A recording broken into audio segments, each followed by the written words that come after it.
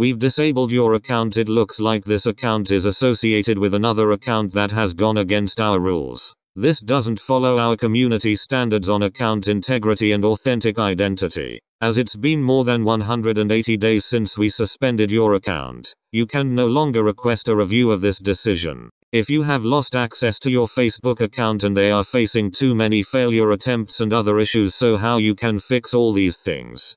Okay let's start follow my all steps. First of all log out your account. After that click on plus icon. Here find confirm your identity.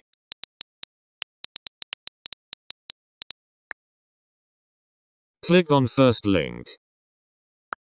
Confirm your identity. You can upload and submit an approved document like a valid passport, driver's license, or non-driver's government ID.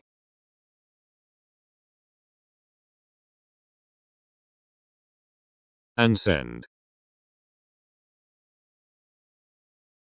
Copy the second link from the description.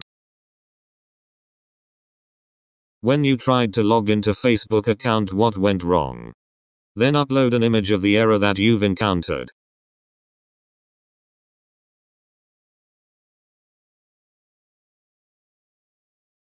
And send. Copy the third link from the description.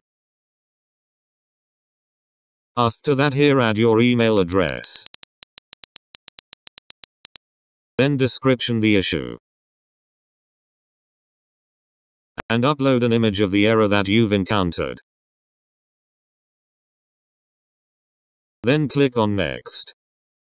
And confirm Submit.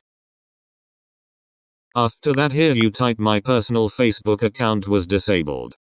And open the first link. And scroll down here you can see that was this helpful you click on No. And click on second option that says the solution does not work. And here type same issue and submit. After that one step back. Then open the second link. Scroll down. Same here click on no. And click on second option. And here type same issue. Lastly click on submit. Now wait 24 or 48 hours Facebook team will be resolve your problem very quickly. I hope this video has helped you. Don't forget like share and subscribe.